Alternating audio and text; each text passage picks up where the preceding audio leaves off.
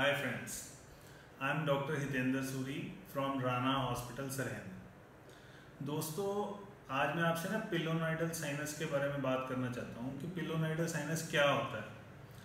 Pilonidal sinus जो हमारी रीढ़ की हड्डी है उसके नीचे के पोर्शन में एक छोटा सा सुराख हो जाता है। पेशेंट को लगता है कि कभी उस सुराख में से पानी आ जाता है कभी ठीक हो जाता है कभी फिर पानी आता है कभी फिर ठीक हो जाता है।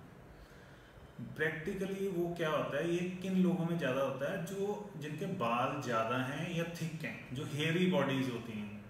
तो वो बाल अपने आप ही उसमें सुराख कर देते हैं और फिर वो वैक्यूम सिस्टम बन जाता है, जिससे बाल अंदर जाते रहते हैं और बाल ही सोर्स ऑफ़ इन्फेक्शन बन जाते हैं। तो बस उसमें क्या करना होता है कि उसको एक छोटा सा प्रोसीजर है जो हम यहाँ करते हैं। थ्रेड टेक्निक से हम बहुत ही छोटे जख्म में उन सारे बालों को रिमूव कर देते हैं और पिलोनाइडल साइनस ठीक हो जाता है और अमेजिंग बात क्या है कि नॉर्मल सर्जरी में पेशेंट को कई दिन रेस्ट करना पड़ता है।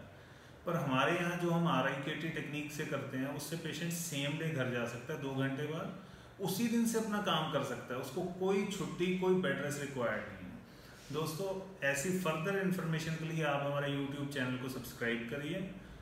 Thank you very much for watching this video thank you